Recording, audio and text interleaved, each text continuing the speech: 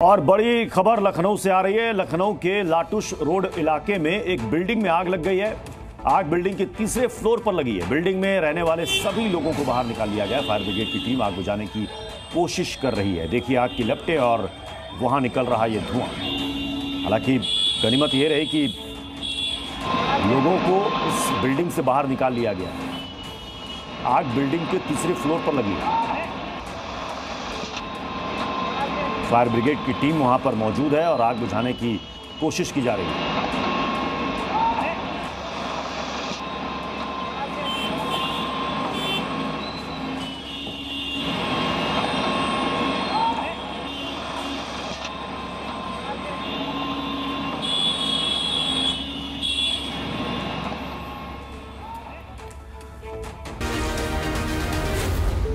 News.